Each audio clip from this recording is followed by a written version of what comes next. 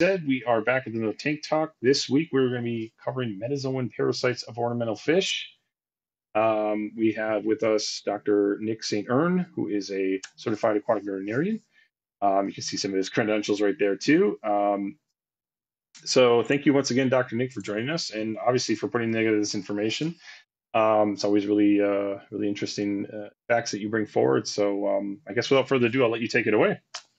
Thank you, Ian. Uh, glad to be here again. So our last presentation was about protozoa and we're protozoan parasites, and we're going to go ahead and tell you about the parasites that are bigger than protozoa. So we call those metazoa.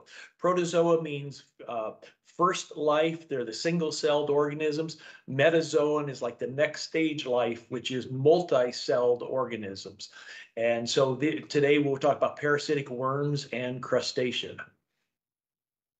So the most common metazoan parasites include monogenean trematodes, such as Dactylogyrus and Gyrodactylus, which we commonly see in freshwater aquarium fish. And there are also different species that we'll see in marine fish as well.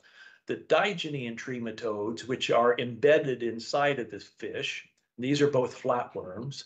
And then we talk about tapeworms, nematodes, uh, segmented worms like annelids, which uh, you think about earthworms are a segmented worm. The earthworms are food, they're not parasites for fish, but there are other species of annelid, annelid worms that are parasites like the leeches.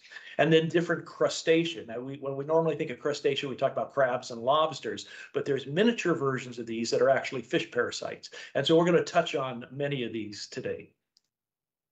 So let's start with the flatworms, uh, the trematodes. So Platyhelminthes means flat worm. And the members of this phylum are flattened, soft-bodied invertebrates ranging in size from microscopic, and most of the fish parasites are microscopic. You really can't see them with your naked eye unless you have either really good eyesight or maybe a magnifying glass. And of course, we usually diagnose it using a microscope. But some of them get up to 50 feet long, 15 meters, which is like incredibly big to think about some kind of a worm that's that long. Uh, fortunately, those are not the parasite parasitic ones, although some tapeworms can get quite large as well. Uh, so the monogenean uh, the mono means one, genea comes from generation, like genetics, and it's a life cycle on one host. And that's not entirely true because sometimes they can go from host to host, but the, the life cycle is can be completed on one host. So it doesn't necessarily mean they're only on one host their entire life, but the the single host is all they need to reproduce. The digenean trematodes mean die meaning two, two genetics, two generations. It actually takes multiple hosts for them to reproduce. And they usually start, we'll start, let's say, with the adult inside of a bird or a mammal. The eggs are passed out in the feces, get into the water. The, the eggs hatch into uh, uh, or Cercaria that'll get inside of a worm or a snail, depends on what species it is. Those will then be eaten by the fish. The fish acts as an intermediate host. So it's not the host that the parasite multiplies and reproduces in, it just acts as an intermediate host. And then the bird or the mammal will eat the fish and the life cycle goes on. So we'll talk a little bit more about that when we get to those slides. So specifically, I'm only going to talk about these two monogenean trematodes because they're the most commonly seen ones, and they're both very, very problematic, very commonly found. so Dactylogyrus, meaning finger that wiggles, and gyrodactylus meaning wiggly finger. So they're they're just whoever named these things had must have had a sense of humor, and they knew one's dactylogyrus, the other's gyrodactylus. And so, can you tell the difference between them? Yes, and we'll get to that. Uh, but pretty much they look like wiggly fingers under the microscope. And so what is it? So the one of them is we call it a gill fluke. It can sometimes be found on the body, but predominantly on the gills. The other one we call the skin fluke because it's predominantly found on the skin and the fins, but occasionally found on the gills. And by by far and large, they actually do have a site preference to the gills and the skin, but not 100%. Okay, so the gill flukes, they primarily live on the tips of the gills, sometimes the skin. They definitely cause gill filament hyperplasia, uh, where the gills get thickened and get a lot of white blood cells and epithelial cells built up on them, which reduces the ability of the gills to work. So they end up with hypoxia or, or uh, poor breathing, uh, low oxygen. And so you might see those fish breathing rapidly, their gills will be opening and closing very rapidly, but sometimes you might not even see that until suddenly the fish dies. Uh, so if you do a gill tip biopsy and look at it in the microscope, you will see these. And the interesting thing is these reproduce by laying eggs. Okay, then the gyrodactylus, they're primarily on the skin and fins, but occasionally you'll see them on the gills. These are not egg laying, but hermaphroditic, meaning there's a there's two organisms that are both each one is a male and a female. They get together and mate, then both of them go off and have babies. So it kind of doubles your reproductive rate because every individual is both a male and a female, but they do have to mate. But once they mate, both go off and have babies. And they only give birth to one baby at a time. And the embryo with the hooks is often visible inside of the adult, and we'll show you pictures of that. And then the young attach, usually just attach right next to the adults, uh, and they're almost full grown when they're born. So they're essentially, they are adults when they're born. Uh, so here's just showing some reproductive. This is the dactylogyrus, which is the gill fluke. This is a gill here. It's attached to the gill with these hooks. So you can see uh, both species on the end have, there's 14 little tiny hooks around here, and then there's two giant hooks in the middle, and they're like grappling hooks that they just embed into the tissue. Now we've talked about how parasites can cause tissue damage, which then get bacterial infections that occur in that damaged tissue. So this is a big problem with these flukes is just like some of the protozoa, the bacteria can be what you notice is a bacterial infection. But the reason your fish gets a bacterial infection is because these uh, parasites are damaging the, either the gills or damaging the skin with these giant hooks and um, the bacteria get inside it. So this particular one, we're only seeing part of it in this slide, but I, I have this picture to show an egg. This egg was just laid, and I actually have a video of this a parasite laying the egg, but I didn't have the video on this slide. Uh, so just a photo. This one is a skin fluke, and they look very much similar when you look at it. But the difference is here inside of this, this is the baby. And when you see this pair of hooks right here, you'll see these hooks. This is the hook of the baby inside of the adult. And this baby is curled in half.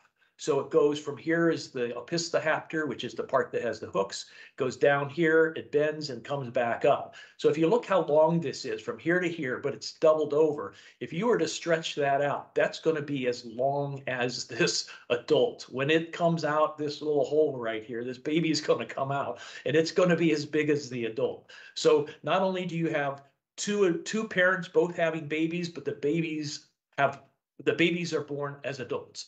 Now, the other thing is occasionally you'll see inside of this one that's ready to be born, you'll see another set of hooks in its middle because this baby can be born already pregnant. Hmm. So the baby can pop out and already have a baby growing inside of it. So that's kind of weird. Kind of wild. Yeah. Yeah. Okay, so this is just a close-up of the hooks just to show you what they look like. Both species have, or most species have similar hooks. Some species actually have multiple sets of hooks. Okay, so here we're talking specifically about the skin fluke, and I wanted to put this picture on here because first of all, here we're looking at a piece of, of fin tissue. So this is a, a fin off of a koi. You see this is the cartilage. It kind of looks like bamboo. That's normal uh, cartilage shape. Their black is uh, spots are pigment cells. The orange pot, spots are pigment cells.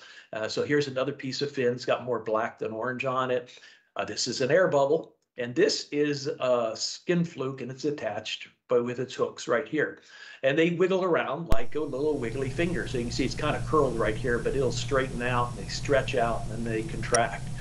Uh, on this one, this is a piece of gill tissue, and I can tell it's gills because it has the lamellae here, but this is not a healthy looking gill because there should be a gap between each of these red little lines, there should be a gap, and there's not. This gap is getting filled in by extra cells because of irritation.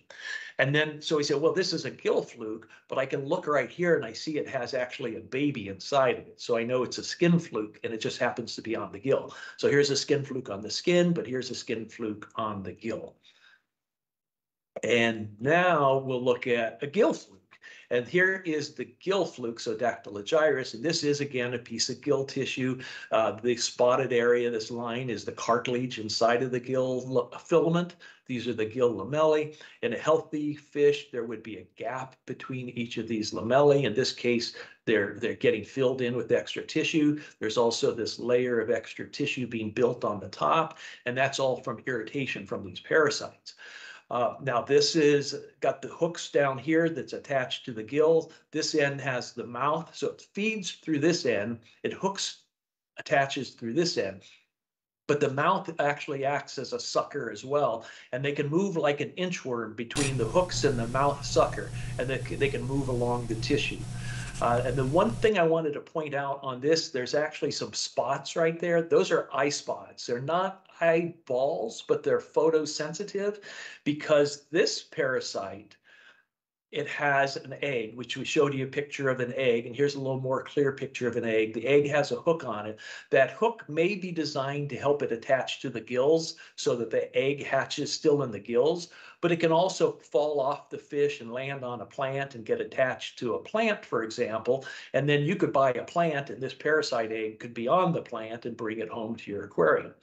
Once this egg hatches, the miracidium that comes out, this is one right here. So this is a baby, this is an adult. This is a freshly hatched one. And even on the little baby, you can see the eye spots because they have to be able to swim from the hatched egg to the fish. And they use that eye spot to note the shadows of the fish going around and they'll swim towards those shadows. And also, as they're swimming around, the fish's mouth is opening and closing, it's sucking in water, the water goes across the gills, it sucks these little babies in its mouth, and then they attach to the gills as they go through. So once they're attached, uh, so here's some gills right here, here's the hook end, and this is the head end. And you can see the, the adult has four eye spots the other interesting thing between this is there's one, two, three, four little finger-like protrusions on the head part of the gill fluke. There's only two protrusions on the skin fluke. So if you're looking at the microscope, you see these things, you look for eye spots, you look for embryo, and you look for the number of fingers at the tip of the head to determine if it's a gill fluke or skin fluke, as well as its location. Um, we'll, we're going to talk a little bit more about how to get rid of these, but I just wanted to identify them so you know what, what you would find. And these, again, are very, very common. Now, another, those are trematodes. So trematode is, is the flatworms, Platyhelminthes. This is another type of trematode, but we mentioned earlier the digenean trematode has multiple hosts in its life cycle. So the primary host uh, that they reproduce in will be either a bird or a mammal that eats the fish. They'll pass the eggs out into the water, and then the larvae will hatch either into a snail or a, a, a tubifex worm or some other type of, of worm that then is eaten by the fish. Once the fish eats it, it gets into the fish and then it forms a cyst. So these are gills. You see the little gill filaments here. This is a cyst. Here's a cyst. This one is actually a muscle embedded in the fish. And you can see these are a little more developed. They actually look like kind of a worm-like look, looking organism already. And this is just a higher magnification. Here's the gill. This is the cartilage that's down the inside of the gill. This is the lamella. And you see this dark red, that's not normal tissue. That's abnormal on the gill. And then here's an encysted uh, uh, a metacercaria of the digenean trematode. Now, if your fish has one of these, it's not going to hurt it. It's not going to be a big deal. But a lot of times what you'll see is this, where you have many, many, many of these. And, and especially if they're in the gill, they, they damage the gills. It can cause the breathing problem. Uh, and and it, it can be very harmful for the fish if there's lots of these. They can also get into internal organs as well as gills and the skin and the muscles. And this picture is just showing, here's a, a fin of a fish And each of these little black grubs or black spots is a grub. This is another embedded metacercaria. And sometimes these will be yellow, sometimes they'll be white. In this particular case, they're black. Just depends on how the fish reacts to it. But these are alive and they're just sitting there in the fish, waiting for this fish to be eaten so that then they can hatch out of the fish in the digestive tract of the bird or the mammal, and then they mature to the adult stage in the mammal. So if you start seeing these on your fish, they are treatable. And in small numbers, they don't really hurt the fish, but in large numbers, they can be a problem. But we, will talk about treating those too. okay, so that's the flatworms. The tapeworms are a flatworm, but they have segments in. So if you look at this little segment right there, this tapeworm right here, it has these many little segments. Each one of these is called a proglottid, and each one of these is a reproductive organ or contains a reproductive organ. So they can continue to reproduce. Uh, and even if they break apart, the parts that pass out can be, for example, eaten by another fish, or in this diagram right here, can be eaten by a person. If you eat a fish that is that has these and you don't fully cook the fish, the people can get it. And in some countries where um, raw fish are consumed on a regular basis, tapeworms are a major problem. I would like to put a disclaimer on sushi because I actually had sushi last night for dinner. It's one of my favorite things to eat. A good sushi restaurant or the appropriate one is all the sushi is flash frozen. So all that fish is frozen to kill any parasites in it. Then it's defrosted and kept at, uh, you know, like about 32 to 34 degrees. So it's not frozen anymore, but a very cold temperature. And the freezing process will kill the parasite. So if you are a sushi aficionado, uh, assuming you have a really good sushi restaurant, all your fish should actually be safe. Okay, but if you like are getting smoked salmon and you don't fully smoke it, so it's not totally smoked and, and dehydrated, that smoked salmon is probably a greater risk of getting parasites than sushi is. Um, so these can be, there's various species of tapeworms. Uh, the common fish one, it looks like this. Uh, they can get up to three to seven feet in maturity uh, even getting as big as 30 feet long. And I do know of people who have had these and will they don't even know they have it until they start passing the tapeworm with their stool. And it hmm. can be several feet long coming out as you're going to the bathroom, which wow. is pretty dis- disconcerting. Uh, if you you know you're, you're you're all of a sudden you feel something hanging out and it's a tapeworm, so that can be a problem and they do reproduce very rapidly. Again, these have multiple stages. If you look, there's a little uh, copepod parasite or a copepod crustacean that it that becomes gets into. The fish will then eat that, and then the mammal or other species will then eat the fish, and then the life cycle is repeated. So cook your fish or make sure it's flash frozen. Uh, fortunately, tapeworms are not very common in farm raised fish because they don't typically have the full life cycle capacity. If it's out where there's birds and other wildlife and other animals in the, the pond, they can get tapeworms. But most of the time, the, the, the birds or the mammal host is eliminated from the access to the pond, and hopefully any of these uh, other larval uh, forms are eliminated. So the fish, I don't see this very common in fish, but I've seen it in koi occasionally. Okay, roundworms, more worms. We like these worms.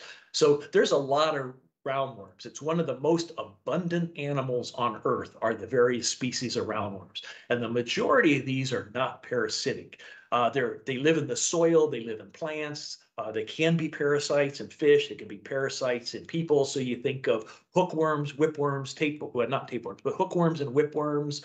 Uh, your dog will get those, your dog, your cat, and even people can occasionally get, you know, your the pets, hookworms and whipworms. So those are types of roundworms.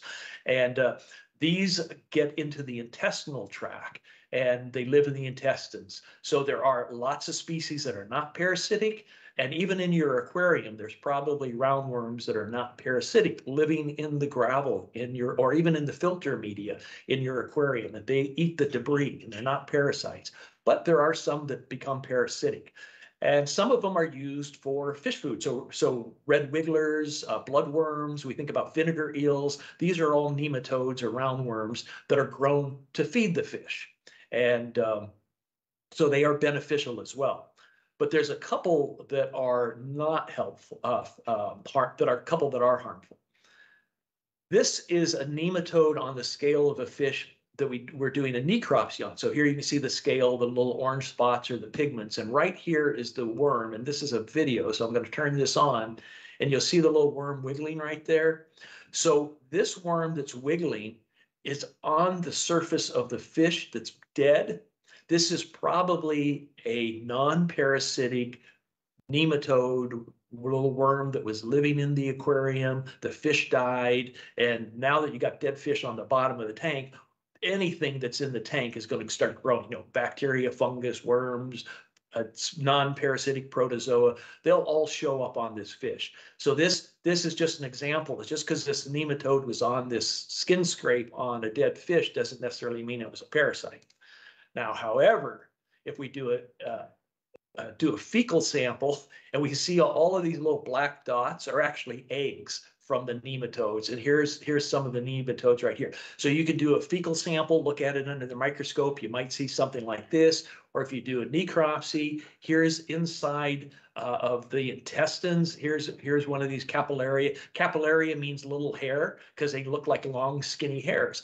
And these right here, each of these little dots inside of this these are the eggs. So you can see how many eggs are in this one worm. And then if you have lots and lots of the, these worms inside the intestines, which is possible, then you can see how many eggs they can pass. So these can be very, very problematic. And so here's another one right here. It's kind of curled around. And this, I reason I put this in here is this is the intestinal tract. So this is a necropsy. We took a piece of intestines, uh, put it on a slide, looked at it, and there was quite a few of these nematodes inside of the intestinal tract. So these are the normal layers of the intestines, and then this is the nematode in here. And then you'll see either, you know, sometimes the eggs will be loose, like in this case, or you may not see the eggs, but you might see them inside the worm. Uh, so that's something. So what do you, how do you know if, it, if, it, if your fish has these intestinal worms? Uh, sometimes you won't know at all and the fish is fine. That's great. But sometimes they'll get bloating. They might have a yellowy stool, uh, which we see the same thing with protozoa sometimes causing that. Uh, a soft stool that, that, that just doesn't form like the nice brown little linear poop that the fish will normally pass. Uh, so if you start seeing either bloating abdomen, losing weight, uh, uh, even though they have a fat belly, the fish are starting to look skin, losing muscle mass, and having unusual diarrhea, or, or not diarrhea, but unusual stool. You might suspect some of these intestinal worms. And this is another one, Camallanus, which is a, a great uh, name for a worm. It's because uh, it comes out of the anus. I don't know if it's like a camel coming out of the anus, but if you look at this here, this is a ram cichlid, and look at this red thing right here. This oh, worm yeah. is is dangling out of the fish, and it's actually doing that in order to pass eggs out into the fish. The the worm is not coming out of the fish; it's just dangling part mm. of its body out. And if you were to like net this fish up, this worm will zip right back inside the fish and disappear. So if you ever look at your fish and you think, oh, he's taking a poop, but the poop is red and not brown, and especially if it suddenly disappears going back into the fish, it may be this uh, camallanus worm, which is a very red worm. It's, it looks, uh, I've seen it described as like a barber pole because it has this kind of red wiggly stripe in it, but it's it's a definitely a long, skinny, reddish worm that lives in the hmm. intestines, but can protrude out through the uh, the vent or the anus of the fish very frequently seen in live bearers. So that's one thing to consider, uh, but it can occur in other species of fish. And they get it by ingesting either dead fish that have it, or they can ingest food particles, uh, uh, or looking for food particles on the bottom of the aquarium and picking up eggs uh, are ways that the fish can ingest it and then get them inside them. Okay, now we're going to go to another kind of a flattish worm, but is an annelid worm. Annelid means ringed, and so along their body they have little segments. And so, like an earthworm, these have little linear segments on their body. And uh, not all leeches are parasitic. There are some that live in the environment that they can live on the plants. They live in the detritus. Uh, sometimes you'll find these little leeches in a filter. They could be parasitic, but there are are some species that don't live on fish, only in the debris or the gravel. Uh, so that's something to consider if they do get on the fish, if they're the parasitic kind, they can suck quite a bit of blood, which can reduce produce anemia, which is uh, low red blood cells, and they can also spread parasites from one fish to the other because they they'll feed on the fish, then they swim away. They actually are very good swimming worms. They'll swim away, go lay some eggs in the plant, then they'll go back on another fish and feed again. And so they they lay eggs in the pond. These egg sacs will be attached to the surface of the pond or the aquarium or plants. And sometimes you'll see these little uh, brown to, to dark, uh, little small discs attached to things that are actually the egg sacs of these leeches. And then they have a mouth at one end and a suction cup at the other. Uh, both both ends have suction cups. The mouth is in one suction cup and the anus is in the other suction cup. So here's a little, this is a very young larval one, a very small one. It's kind of not stretched out. Here is one that is more stretched out. This is a bigger one. This one is about two inches long. And this is a video. We'll just kind of watch it, see how it crawls hmm. like an inchworm. It actually will pull the two pieces together switch the suction, push itself forward, and then pull itself ahead. So just like creeping along like an inchworm, um, these guys will move and they can move on the fish that way. They can swim through the water pretty easily. And uh, then they'll, once they attach, then they just uh, start sucking on the fish's blood, which again, we mentioned biting into the fish and sucking blood also causes sores, which then can get bacteria or fungal infections. Okay, so that's the end of the worm part. Those are the main worms. And there's many different species of each of those worms, and there's saltwater varieties and freshwater varieties. So we just kind of gave you an idea of what those worms look like. Uh, now we're going to talk about crustacea, which are like, you know, crabs and shrimp. And the first one is a worm. So it's not really a worm. The reason it's called anchor worm is because if you look at it on this fish, here's a goldfish, it's attached to the skin of the fish. It looks like a worm. Um, and so that's where the worm part comes from. So where does the anchor come? Well, here is the worm taken out of the fish. And this portion actually has four prongs. So it's like an X shape. And those prongs are embedded under the skin like an anchor to hold the, the worm onto the fish. So once this this worm attaches to the fish, it normally does not come off. These, these anchors are deeply embedded into the, under the skin, into the muscle, and this worm will be permanently attached to the fish for the rest of its life. Now, this is a female that attaches. The male is much smaller. The male will attach to the female. It'll mate and then die and then the female will produce two egg sacs. And if you look at the end here, this has the two egg sacs. This one, the egg sacs are gone.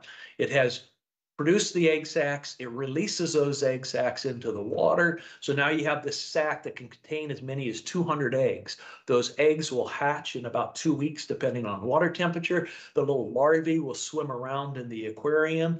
Uh, the females will attach to a fish, burrow their head in, and then grow into this elongated worm shape. The males will swim around, find a female, attach to the female, do their thing, and then off they go. Uh, so only the females attach onto the fish. But you can see in many cases hundreds of these on fish. If you have, you know, like an aquarium where there aren't a lot of fish and you got one of these that's reproduced and you got 200 babies swimming around attaching to the fish, they can get pretty heavily infested, infested on the fish. So you can pull these off. You have to be just very careful at making sure you get this head portion off the fish. So use a pair of tweezers close to the skin, pull them off. And then I like to use a disinfectant on the skin, like betadine or some type of disinfectant. Uh, and again, as we mentioned, these cause reddened sores, which may become infected with bacteria or fungal infections. And so I think we got the next one is also, this one is more crab-like.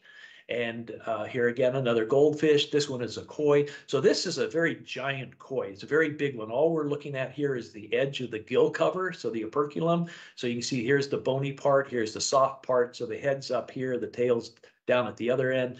And here's one that's sitting on, on the uh, gill cover of a koi. This is a goldfish, and so you, this goldfish is probably three inches in, in length, approximately three to four inches maybe. And you can see here, so these are pretty big. This is about a centimeter in diameter, so about three quarters of an inch.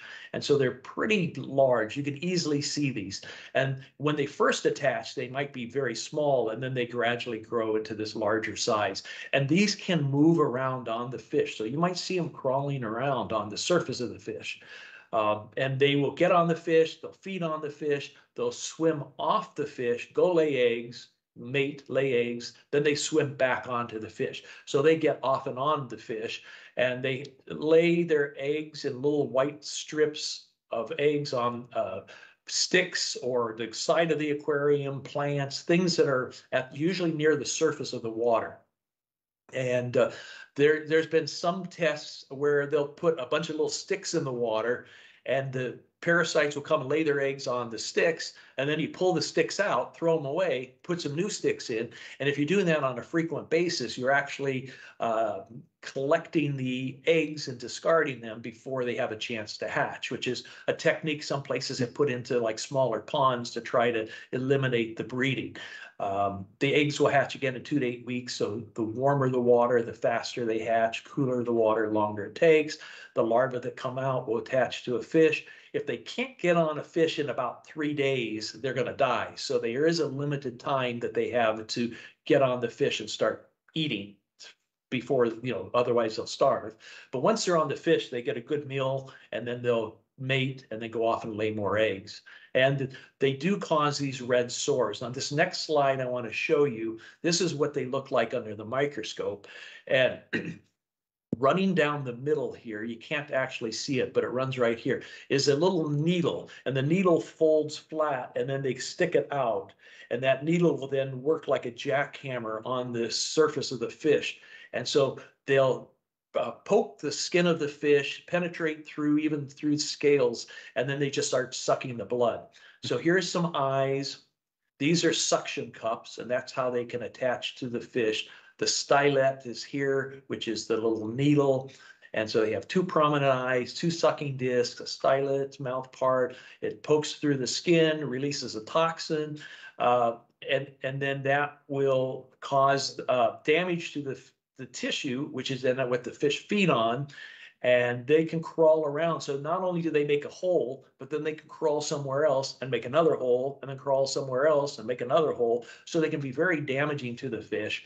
And you should be able to see these on the fish. But if it's if it's like a real dark fish, you might not easily identify it. If it's a light colored fish, they show up. They're sort of a grayish, greenish, olive tan color, something along that range. And then they have all these legs, just like, you know, crab. They got uh, all the legs here they attach with, they swim with these. And so they are, they are very good swimmers and they will swim around from fish to fish or, or off the fish to lay eggs.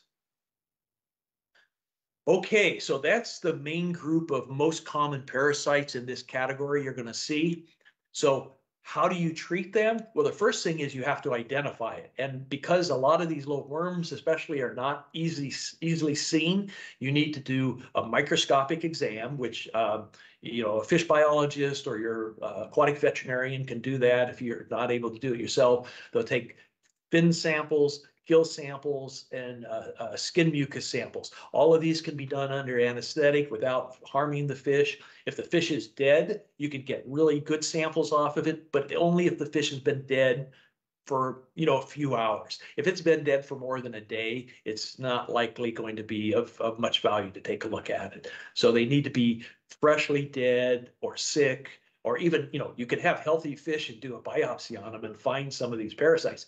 Because we've mentioned in previous talks, parasites, if everything else is going well, good aquarium water, good nutrition, the fish aren't being stressed unduly, those parasites might not be causing any obvious damage to your fish.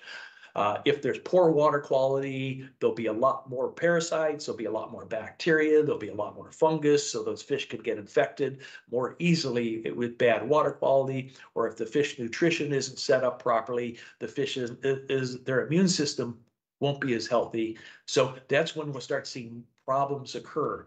Uh, but fish can have parasites without having any problem. So you have to identify them because each one may require different medications. And the way you treat them is typically adding medicine to the water. It's best to do this in a hospital tank or a quarantine tank rather than trying to treat your main aquarium. But if the parasites are in your whole aquarium, you might have to treat it because you even if you just pull out some fish, the other fish might be infected and you might not know it. Uh, there are bath treatments uh, or a dip treatments where you're just putting the fish in a, a, what's called a medicated dip for anywhere from 15 minutes up to maybe an hour, or the bath where you're putting the medicine in the aquarium and the medicine just stays there. if you get new fish, it's always good to do a quarantine and then do a, a, a bath treatment on the quarantine tank before you put the fish into your main aquarium. And uh, some of these worms, like the intestinal parasites, tapeworms, and the uh, Camallanus and Capillaria, uh, need to be treated with medication in the food. And even the grubs, so we talked about the Digenean trematodes, you could give them a medicated food that will kill those inside the fish and, and get rid of those. So that can be done for those, uh, the encysted grubs of the Digenean trematodes. And then it might take multiple treatments, like every week or every two weeks for a period of time to get rid of them completely. Because we talked about some of these are egg layers and those eggs might take a couple weeks to hatch and you got to treat long enough so that all the eggs hatch. So what chemicals are you using? Well, there's a couple different ones. Uh, for most of the monogenean flukes, you can use praziquantel. So there's uh, products available Prazipon, Prazipro, other things that have praziquantel in them. That works really good for some of these monogenean parasites. Uh, MinnFinn, uh, I, I, like using MinnFinn. It's a drug that I've used a lot. It contains hydrogen peroxide and peracetic acid, and it can also, it's good for protozoa, but it's also good for some of these flukes. Um, like praziquantel won't treat protozoa, and the protozoa treatments usually won't treat flukes. So that's why you have to have different drugs for different problems. This one does treat uh, a broader spectrum of different parasites, so that's kind of a good thing to use. And then you need to check the fish after treatment to make sure all the parasites are gone.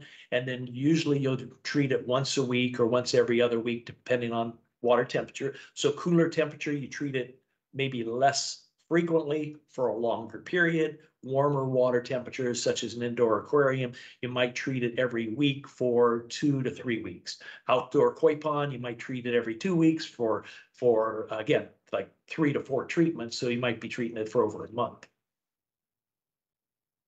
Uh, so the tapeworms are also treated with praziquantel, which we use for the flukes uh, and this has to be fed in the food though, uh, rather than you can use the praziquantel in the water to treat the gill flukes and the skin flukes. But in order to get inside the fish, you need to treat it in the food. So that's where you, for the embedded Digenean trematodes or uh, tapeworms inside the intestines, uh, you can either treat it in the food or you can give an intramuscular injection so it gets inside the body.